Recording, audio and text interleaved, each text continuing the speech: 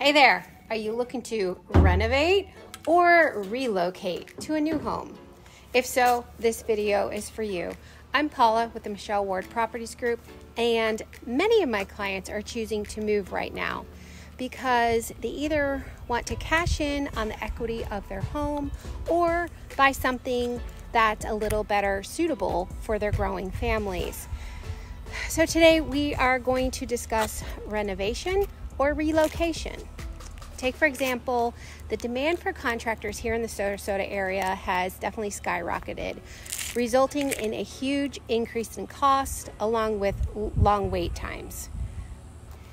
Meanwhile, home prices have been holding steady, but buyers are still finding some great deals um, for move in ready homes.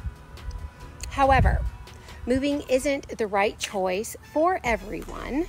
That is why it is so important that you ask yourself three vital questions before you decide to either renovate your current home or to move to a new one.